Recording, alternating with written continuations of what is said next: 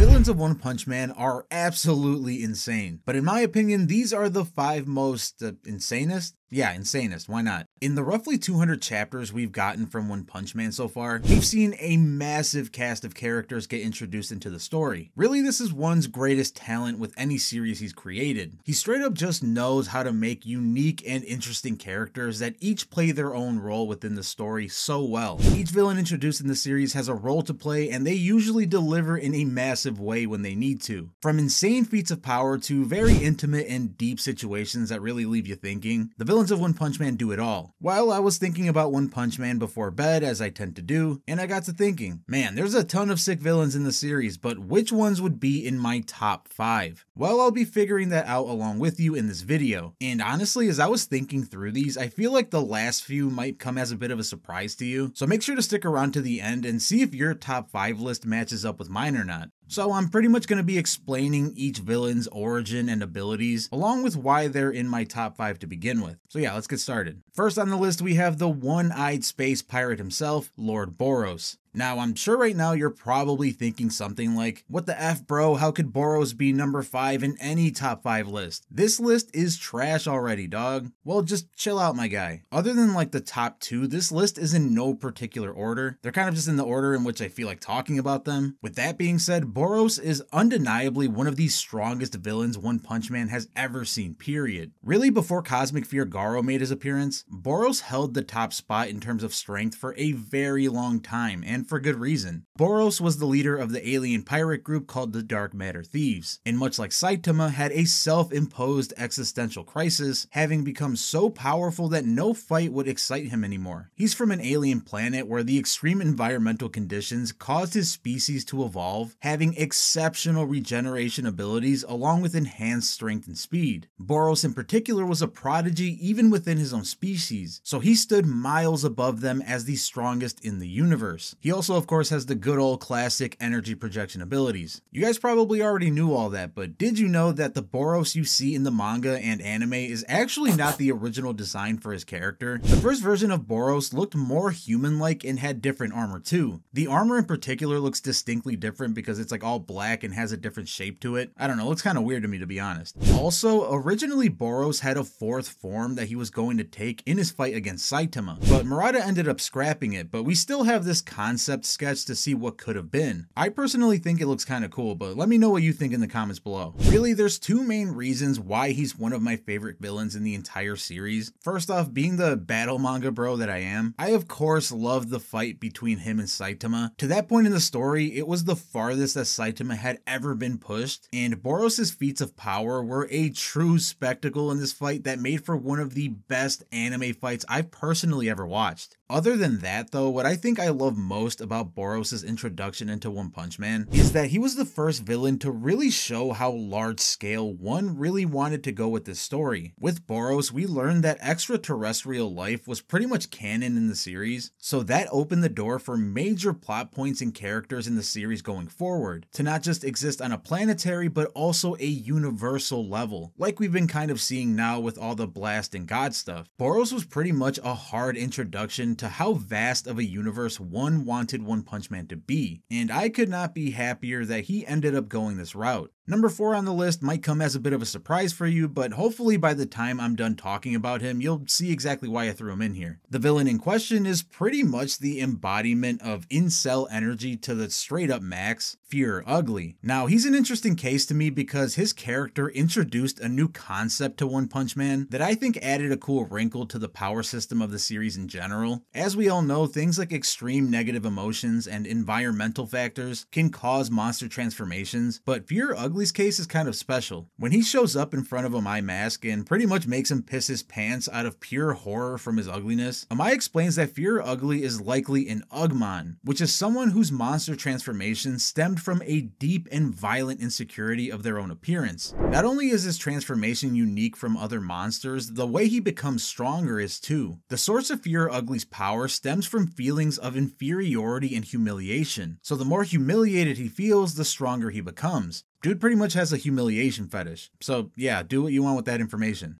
At first, he's just a super strong meathead that gets bigger and stronger with every L that he takes, and then once he becomes vomited Fuhrer Ugly after being eaten by Gums, he essentially becomes a fat ball of acid. What makes me really consider him as one of my favorite villains in the whole series, though, is quite simply the unrelenting raw brutality that he brought to the Monster Association arc. I mean, he straight up brutalized Tank Top Master and Amai Mask, to the point that I realized that we might actually see some crazy deaths in this arc. For the most part, One Punch Man is a pretty lighthearted story, so having main characters get brought to near death in such a graphic way was a serious shocker at the time. I'm sure those of you that were reading weekly as we saw Tank Top Master get completely broken into pieces like feel the same way as I did. Not to mention that Fuhrer Ugly was responsible for one of the only deaths in the series with the Council of Swordsmen. He just like straight up melted them. All in all, Fuhrer Ugly added a sense of uneasiness in every scene that he was in, and it was a much needed aspect to the Monster Association arc. Simply having him in the story added a level of unpredictability and stakes to the arc that I really enjoyed. Now, if you're a regular on my channel, you know that I have a weird obsession with Phoenix Man for some reason, so of course he has to be on this list. Phoenix Man just offers so much to the story from his sick design and abilities to his really interesting backstory. Before becoming a monster, Phoenix Man was just a regular guy that played a role in a kids' TV show called Animal Kingdom. In the show, he played a character called Bird Brain and wore the same costume we see him wear as a monster. In the show, his character was described as being dumb and happy, dying in various ways each episode, only to come back like nothing happened by the next one. He's pretty much the One Punch Man equivalent of Kenny from South Park. Eventually, the show was cancelled for having too much dark humor, and Phoenix Man was therefore fired and tossed away. This firing is what kickstarted the negative emotions that began his monster transformation. He soon realized that his costume had fused with his body and could now communicate with him telepathically, turning him into the monster known as Phoenix Man. With his new monster powers, he gained the ability to resurrect himself in a new, more powerful form every time that he dies. Dude's essentially a Saiyan. In his fight against Child Emperor, we saw him gain awesome abilities ranging from different modes that enhance his speed and strength, to even having the ability to resurrect the dead. Not to mention, he pretty much has his own domain expansion with the Phoenix Space. His character was even nerfed later on, so he wasn't so damn broken. That's how you know that Phoenix Man is that guy. On top of all the cool transformations and powers that tickle my smooth battle manga brain, I do think he has a pretty tragic backstory that emphasizes that monster transformations in One Punch Man aren't as simple as, oh, you're a monster, that means you were just born to be evil. You can't help but feel for Phoenix Man and what he went through that led to his transformation. I think anybody could sympathize with having your life's purpose pretty much stepped on and then being thrown away like a piece of trash or something. Thankfully, unlike the last two villains on this list, Phoenix Man came out of his fight alive and seemingly turned a new leaf as a crossing guard for kids, and he seems pretty happy to be doing it. So there's a good chance we haven't seen the last of him.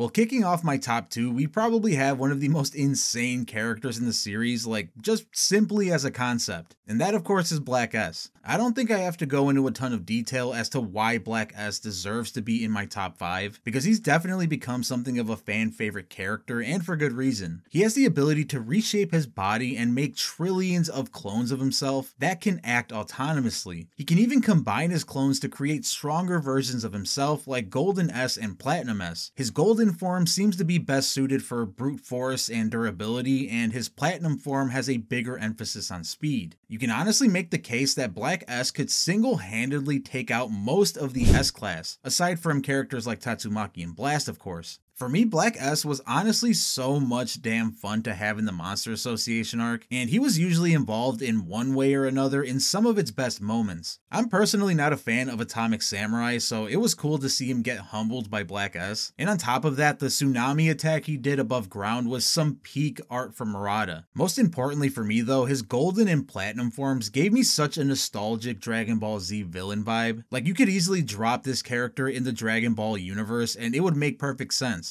I mean, aside from the fact that he's pretty much sentient sperm, I don't think Toriyama would go for that, but you know what I mean. On top of that, his three way fight with Flashy Flash and Garo was absolute peak art from Murata. And of course, who could forget the fact that he helped set up the reveal of King's ultimate move. For that and many other reasons, I am eternally grateful to have this weird little guy in the story. So, just before we get to my number one favorite villain, I want to bring up a couple honorable mentions that couldn't make it on this list. The first is Deep Sea King. His whole mini arc in the anime is honestly what made me fall in love with One Punch Man to begin with. The episodes looked absolutely amazing, and of course, he allowed my boy Mumen Rider to have a shining hero moment. Honestly, that was probably the only One Punch Man moment that really had me choking up. I think some of you could agree with me. Second, we have Homeless Emperor. I just really love his design and powers. Plus, he perfectly perfectly showed how broken God really was, since only a small taste of his power turned a regular dude into a dragon level threat. Lastly, and this was probably the toughest monster to leave out of my top 5 if I'm being honest, we have that monster hot dog that showed up in one of the One Punch Man bonus chapters. Never since the monster hot dog have I seen a more engaging and deep character in the series, so yeah, rest in peace, my friend. You are greatly missed. Well, trolling aside, my favorite villain in all of One Punch Man should come as no surprise to anybody, and I'm sure he's at the top of your list too. My number one favorite villain in all of One Punch Man is Crablante.